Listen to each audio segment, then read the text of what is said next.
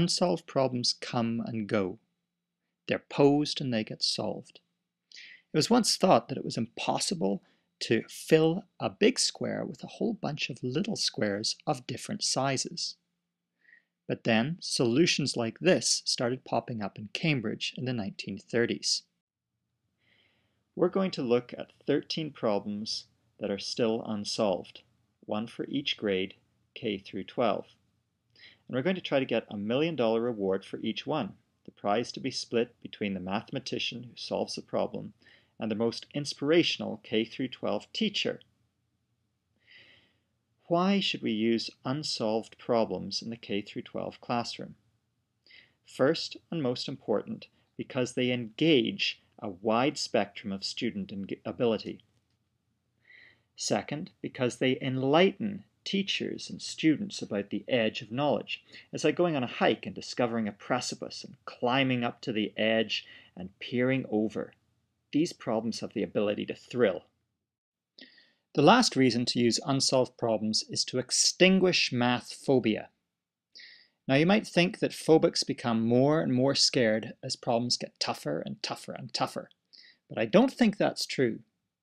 Phobics are scared of failure but with extremely tough problems, as the expectation of success plummets to zero, the teacher can say, you've got no chance of solving this problem.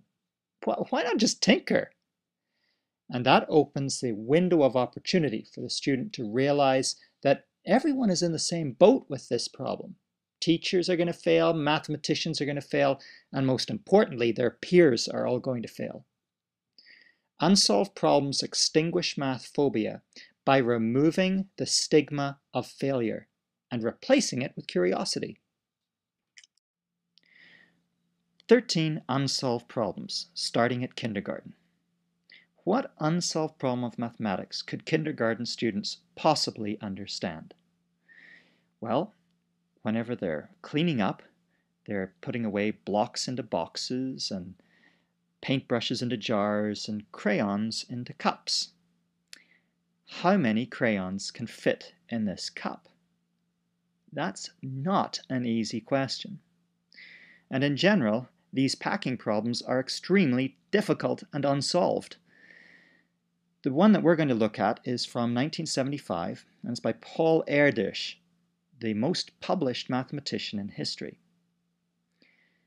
He asked, how big a square do I need in order to hold nine little squares? Oh, that's easy. Well, how big a square to hold 10 little squares? Hmm, that's not as easy. But this is the best you can do. How big a square do you need to hold 11 little squares? Hmm, this is the best I could do. But somebody did better than me. You can imagine that these are extremely tough problems. We don't even know if this is the best possible for 11 little squares. Can you imagine how tough it is to find out the solution for 55? Well, this is the best we've found so far, but there's no guarantee that that's the best possible. I don't want you to go out and buy little squares for your kindergarten class. Instead, every time your class is engaged in cleanup, remember these packing problems cleanup time is math time. The grade 1 problem was posed in 1917 by Henry Dudeney. It's a problem rich in pattern, and all grade 1 teachers love pattern. Here it is. You've got a 10 by 10 grid, and you have to add 20 towers to your grid. But no three of those towers can be on the same line. Have I succeeded here? No, first of all, I don't have 20 towers. But have I succeeded in not having three in the same line? No, I've also failed there. Look at this. I've got three in a line on the right and three in a line on the bottom. Hmm. This is possible, however. Here is another solution. And here's another one. And another one. This is well beyond my expectations for grade 1 to solve this size of problem.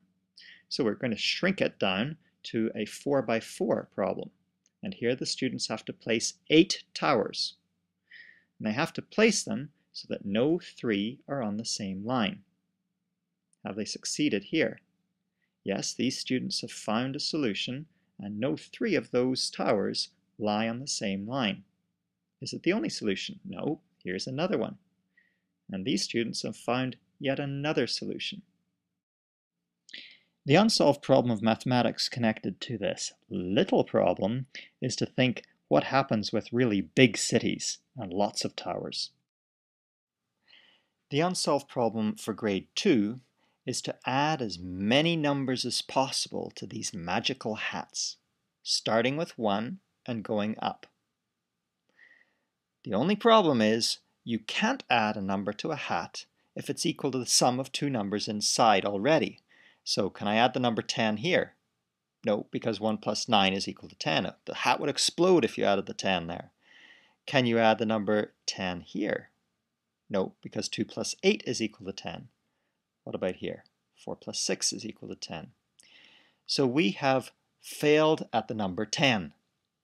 This is a great mini competition for your grade 2 class working on addition. How high can they get?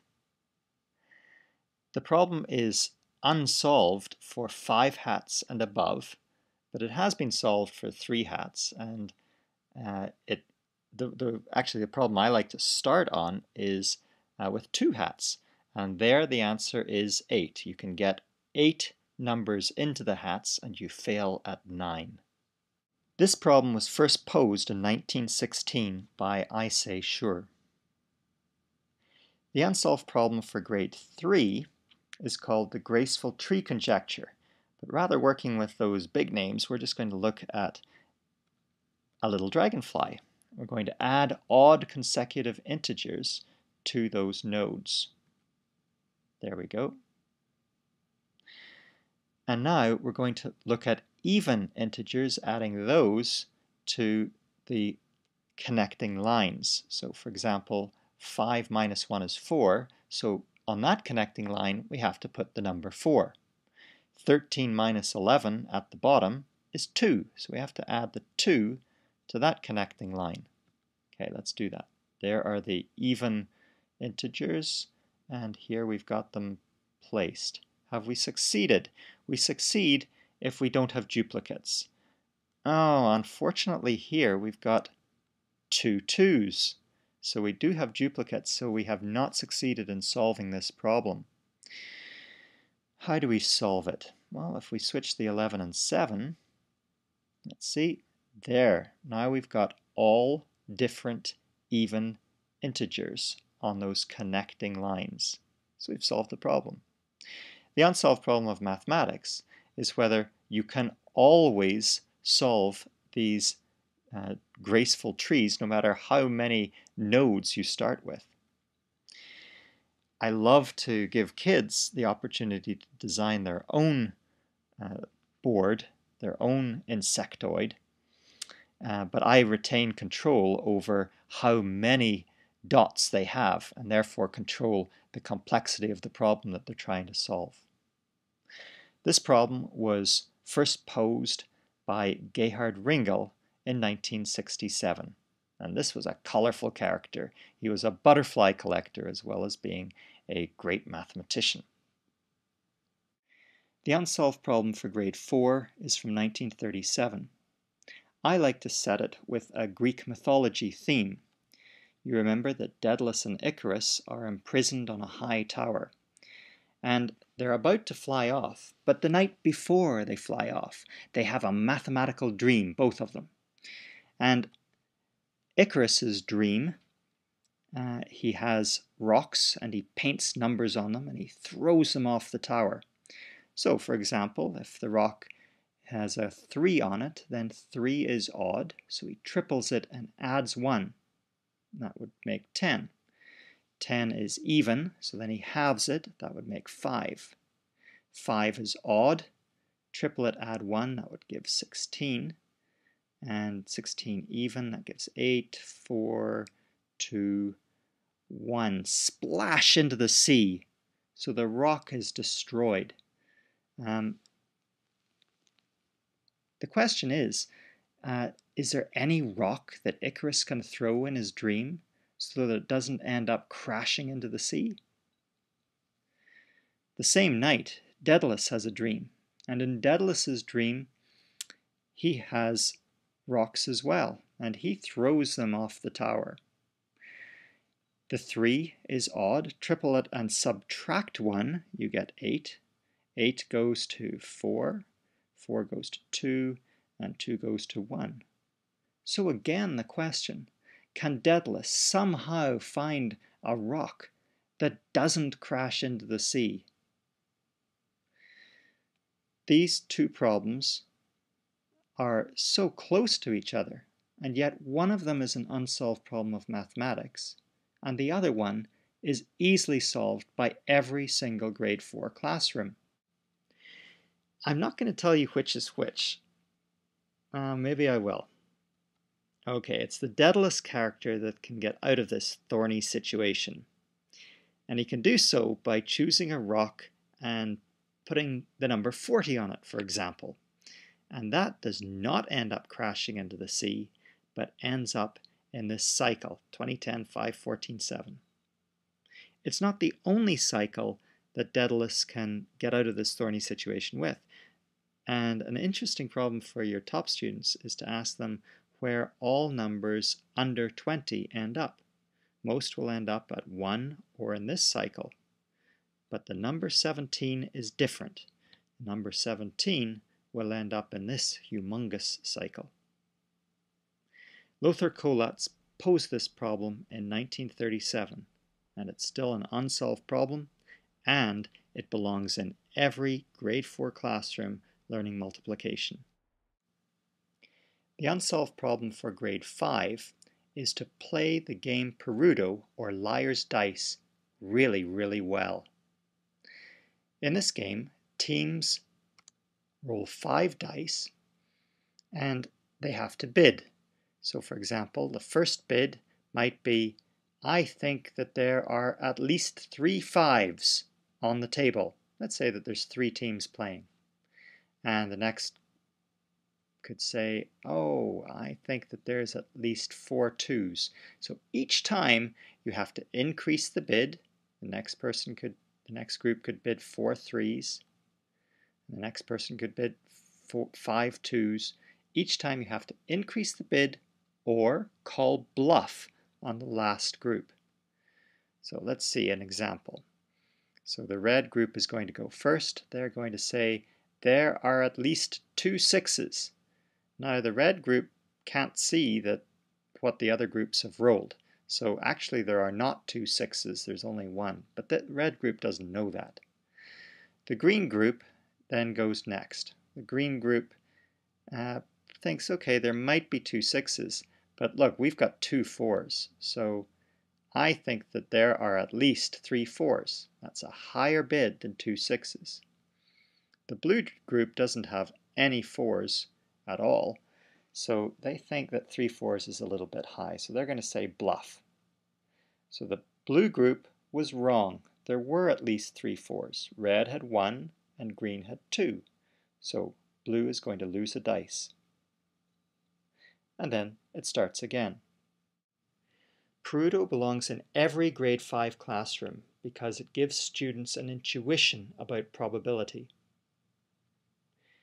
The grade 6 unsolved problem has to do with composite and prime numbers.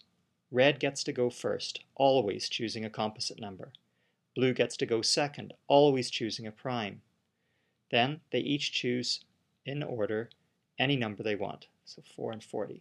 Blue wins this little game if the two products are the same. 50 times 4 is equal to 5 times 40, so blue wins here. Let's try again. Red choose 403. Blue, after some thinking, chooses 13. Red chooses 2. And blue chooses 62.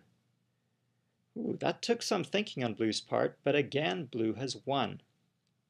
Who wins this game if they both play really, really well? Well, let's see. If red chooses a composite number, a times b, then all that blue has to do is to choose a, which is going to be a prime number, and then it doesn't matter what red chooses. If they choose, if she chooses C, then all that, B, all that blue has to do is to choose B times C. So it looks like blue's going to win all the time. But is this true? Well, if we add a timer, the answer is no. Blue always loses. What the heck is that about? The problem is, is that it is very difficult to factor a composite number that is the product of two large primes. And in fact, that is the basis of internet security. So here we have a rather large composite number that's a product of two primes. Very difficult to figure out what those two primes are. This, uh, this unsolved problem of mathematics is from 1978, and it is to break the RSA cipher. And a million dollars is, is peanuts. If you solve this, you're going to have access to government secrets throughout the whole world and banking information throughout the whole world. You could become a master criminal. So, um, a million dollars is peanuts. And here are the three guys responsible. And here they are today. The grade 7 problem comes from um, Ron Graham. Egyptian fractions are fractions that have a numerator of 1. And you can create solutions to all of these problems by choosing uh, the largest Egyptian fraction possible. So 1 half is the largest Egyptian fraction for all of these uh, fractions that you see. And now again we choose the largest Egyptian fraction left. So for the bottom three that's a third and for the top ones it's a quarter. Okay, we keep on choosing the largest Egyptian fraction possible. And does this process end? Yes, it does. It always ends. And what a beautiful uh, set of problems that you can pose for your kids, getting them to um, always choose the largest Egyptian fraction and solve, for example, 19 over 20. Make sure that you try these problems out before you just haphazardly throw one to the children because some of the some of them get truly ugly. Okay. The unsolved problem of mathematics is if we only use denominators that are odd.